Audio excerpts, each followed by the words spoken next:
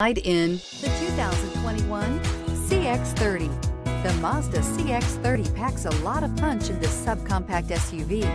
The exceptional interior provides high-quality materials, cutting-edge technology, and ultimate comfort, and is priced below $30,000. This vehicle has less than 100 miles. Here are some of this vehicle's great options tire pressure monitor, blind spot monitor, all-wheel drive, aluminum wheels, rear spoiler, remote engine start, brake assist, traction control, stability control, daytime running lights. Wouldn't you look great in this vehicle? Stop in today and see for yourself.